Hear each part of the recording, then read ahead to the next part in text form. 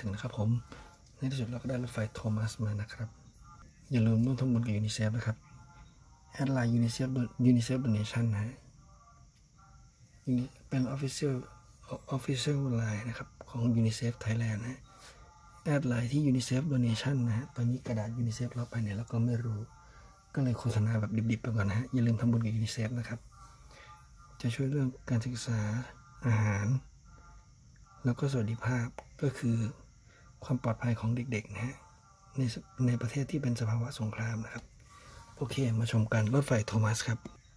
เชิญพบกับรถไฟโทมัสนะครับ อันนี้เป็นงานโทมิกะ จริงๆ ทั้งขบวนก็มี 3 ชิ้นนะฮะให้ไปในหมดไม่รู้นี่คือรถไฟโทมัสนะครับ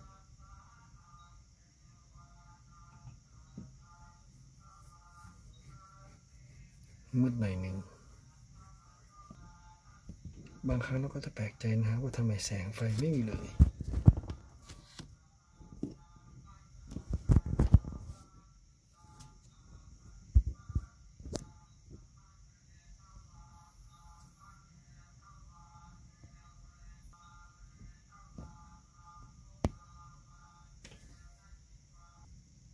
เนื่องด้วยไฟดับนะเราก็ถ่ายกันทั้งไฟดับเนี่ยสนุกดี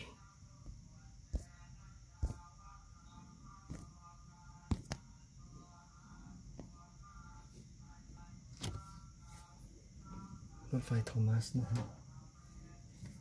ไฟดับไปครึ่งคลิปไม่เป็นไร แสงเรามาแล้วนะฮะ รถไฟโทมัสสวยงามมากครับรถไฟโทมัส เพียงแต่ว่าไฟระดับหน่อยนะ ไม่เป็นไรเนาะ ก็อยู่ในเกณฑ์ที่สวยดีนะ เป็นโลหะผสมพลาสติกนะ ก็คือตัวบอดี้รถไฟเป็นโลหะพื้นเป็นพลาสติกยันล้อนะฮะหนึ่งขบวนจะมีรถไฟแล้วก็จะมีสมาชิกอีกสามท่านนะ เพราะฉะนั้นอันนี้เราได้มาแต่คุณโทมัสก็ขอบพระคุณมากฮะ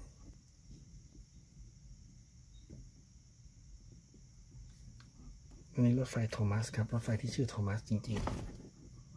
ขอบพระคุณทุกท่านที่ฝากมารีวิวนะฮะตอนนี้นี่คือรถไฟโทมัส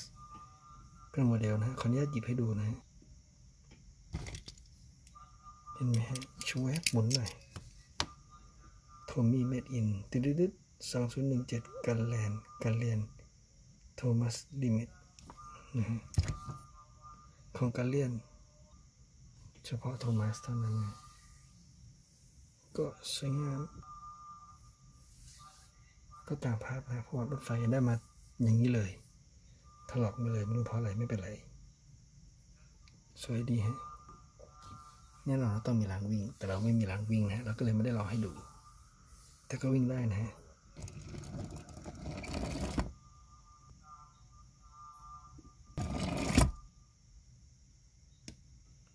ที่เราเห็นอยู่นี่คือรถไฟโทมัสนะครับ ขอบคุณทุกท่านที่รับชมอย่าลืมกดไลค์กดแชร์กด subscribe ด้วยนะครับ ขอบคุณทุกท่านครับและเชิญพบกับคลิปถัดไปนะครับสำหรับวันนี้สวัสดีครับ